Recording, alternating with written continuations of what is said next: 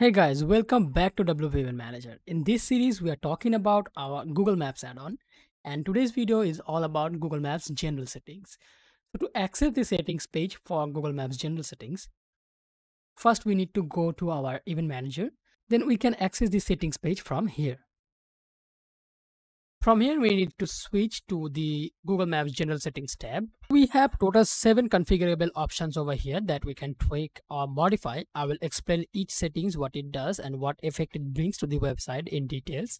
So first we have our Google API language. In the description over here, if we read this, this says this feature controls the language of the autocomplete result and Google Maps. Enter the language code of the language you would like to use. List of available language can be found here if we open this link in a new tab, we will see all the available registered languages in the world and their respective ISO code. So for English, the ISO code would be EN. For French, it would be FR. In this page, you can use Control F to find in page to find your language and copy the respective ISO code for your language. So for English, we can copy this EN and come back to the settings page paste it over here and then we need to save changes to make this language as the Google API language. So the default language for the autocomplete result or the Google map will be this language we define here. Then we have Google API default region. This field over here expects two digit ISO code for any country. So then it will set that country as the default region for the Google Maps. We can find all the ISO codes for all the countries in the world in this link. If we open this in a new tab, we will see list of all the countries in the world and their respective ISO codes and their country code as well.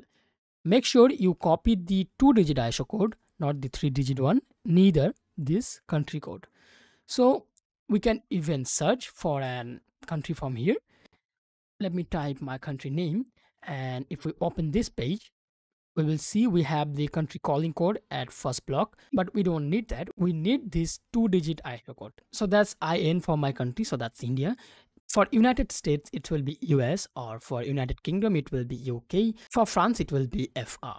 So keeping that aside, I can copy this ISO code and paste it over here to make that my default region. So next we have Google Address Autocomplete for backend submission form. What that means, I'll show you in a moment. Let's open the event submission page at the backend in a new tab. In here, we see the default event submission page. So at the event location section over here, so if we type in a bit of text here, we will see five items for autocomplete suggestion. We can click over here and that will paste the address suggested in here at our input field. So that's controlled via these settings over here. We can toggle this on or off to enable or disable autocomplete suggestion on this location field. Then we have the same principle google address autocomplete but for the front end submission form. For that we need to go to our front end side. Let's open that in a new tab. Let's go to event dashboard. Let's click on add event so in here you will find the event location field as well. So if we type in a bit of text over here as well, you will see the auto suggestions pops up automatically. So this field over here, this auto suggestion can be toggled on or off using this checkbox over here. Then we have autocomplete country restriction.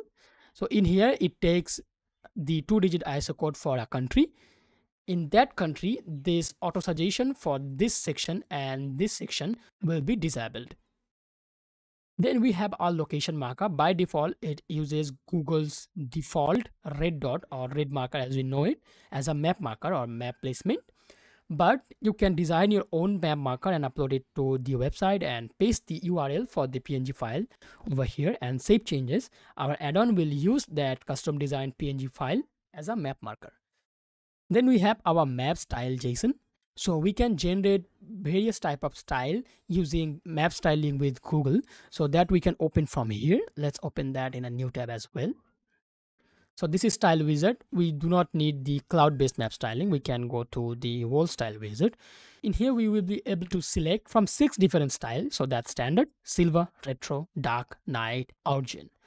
Then we have some sliders over here. That's roads, landmark, and levels. So that lets us play with the density.